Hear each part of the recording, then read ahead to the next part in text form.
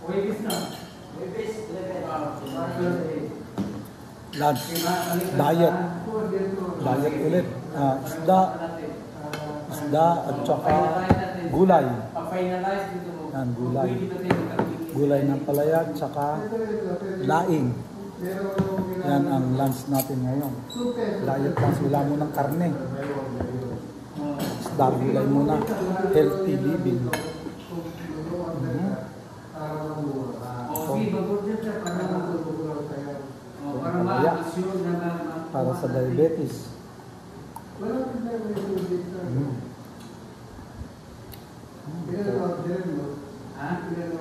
O, Ang sarap ng pagkaluto ng palaya. Hindi mapait. 1,000 muna? 5,000. Mm. O, kaya 1,000. Oh. Laing. Laing. Na natin ang laing na magaling. 2,000.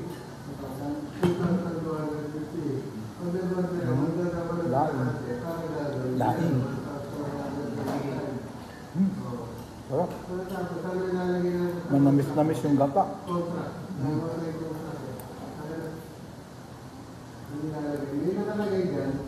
Dahon tangkay. Ito tangkay ito eh. Tangkay. Ito yung bunga. Tsaka dahon. Mm. Sarap. Sarap na pagkaluto. Sarap siya magluto rito eh. Dito ako laging kumakain. Sa Eriverse. Cebu lechon. Kaya lang, isdang order ko hindi lechon. Mhm. Ito isda.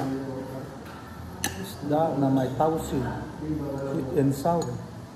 Sweet and sour na tausi. Isda. Ah, ano to? Ano luto ba to sweet and sour na may tausi?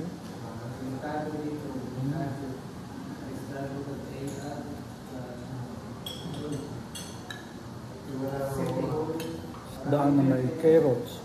May luya. May ito. May tausi.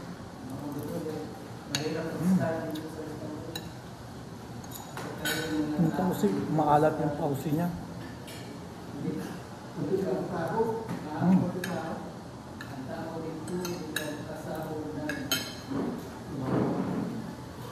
Ibase na sa libog.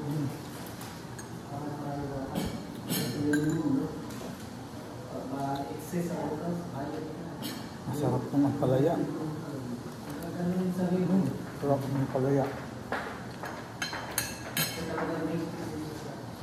ang oras, bayad ka. Masarap ng ampalaya. Ganun sa libog. Hmm. Sarap ng ampalaya. Ang hinahanap kong gulay dito yung sa lulot eh.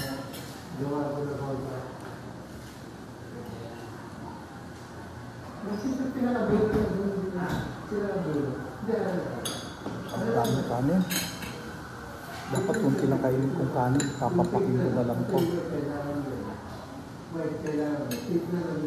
Ginisang ampalaya.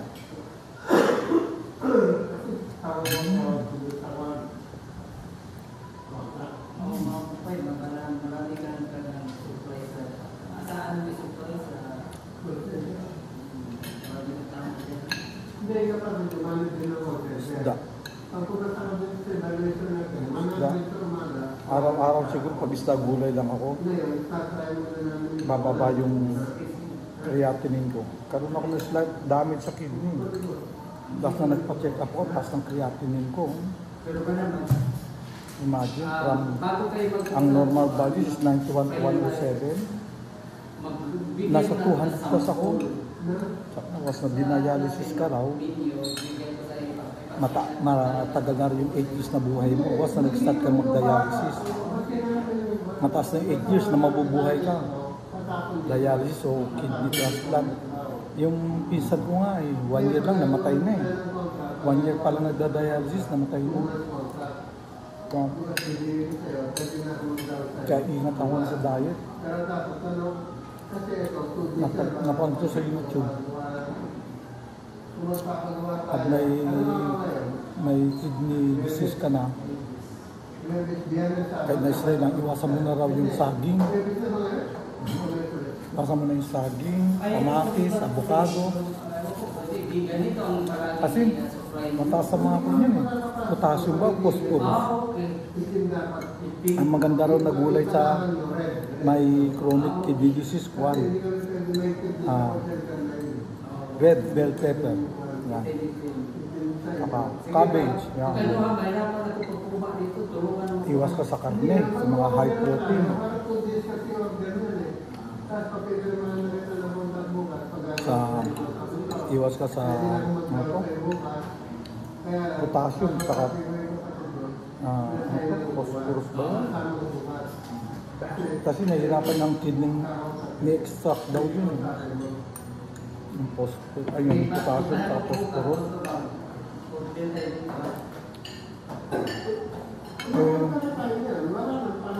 ang problema, kailangan naman ng puso mo yung potassium tsaka phosphorus. Pagpalakas ng puso yun. Ngayon, mamimili ka kung anong aalagaan yung kidney mo, yung puso mo. Diba?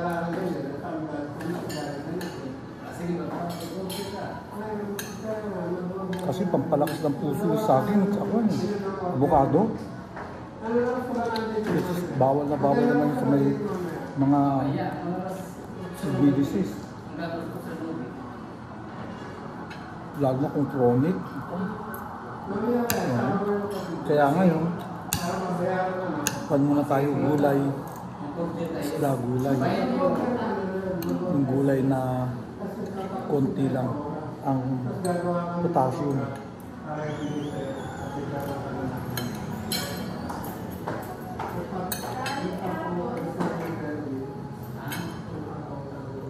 Ito, masarap ang pagkagawa ng laing nila. Manghang na may, may konting sweetness yung gata. Sa bagay yung yung nyug may ga- sugar daw yun eh. May sugar. Di ba mayroong coconut sugar, coco sugar.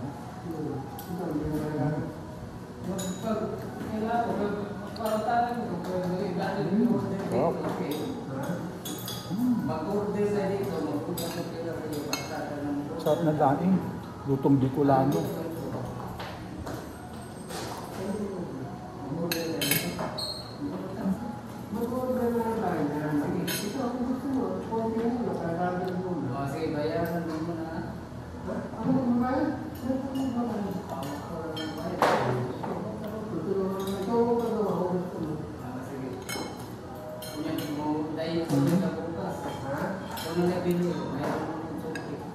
Sige,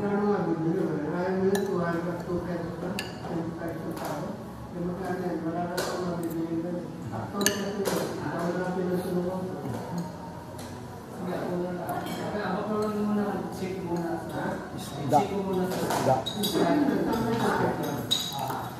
Surprise. Yan, ibalik ka bukas. Kaya lang wala na tayo sana. Kung sa mo, bumili ka na doon.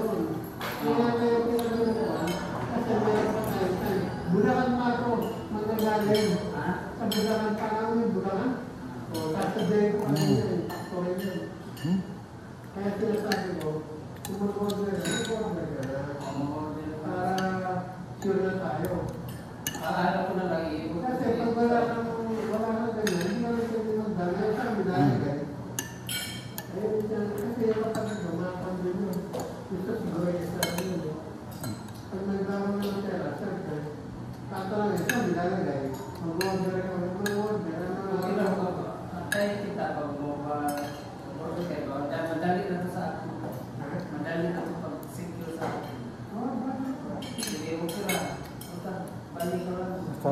Niyo na yun.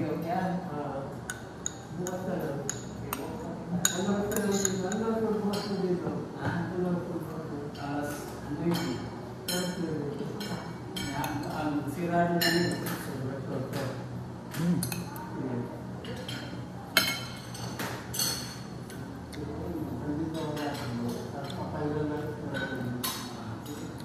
Busog ka ayo. Daghan. Ayaw kong ubusin. Busog na ako.